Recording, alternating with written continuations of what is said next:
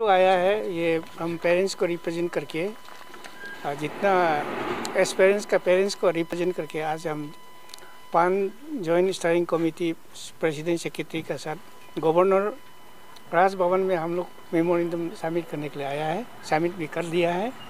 Seventeen को और taking नहीं होना चाहिए बोल के वो पोस्टपोन करना चाहिए बोल के और इसको डिफर डेट को डिफर करो बोल के वो मेमोरेंडम हम लोग आज प्रेसिडेंट सेक्रेटरी सबमिट किया है। मैं चेयरमैन तो मैं भी as a parents on behalf of all parents मैं उन दोनों के साथ आया है।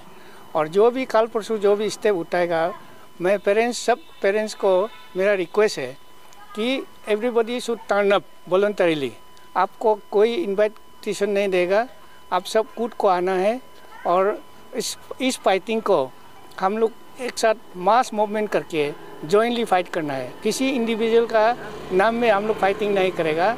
This fighting will be mass movement fighting और इस हमारा हम लोग का जो फाइटिंग भी होगा सब नॉन वायलेंस में होगा। वायलेंस में कोई नहीं होगा। वी नेवर इंकरेज वायलेंस तो वो वायलेंस करेगा तो ठीक नहीं होगा।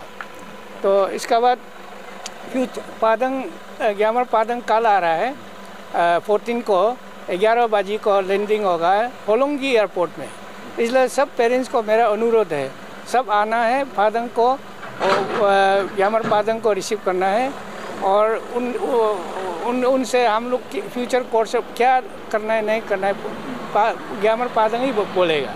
उसी हिसाब से हम लोग चलेगा और हमारा कमिटी जो है आ, ये विल नेवर गिव अप लेकिन वो ये इसके लिए हम लोग जितना सकता है हम लोग फाइटिंग तो करेगा।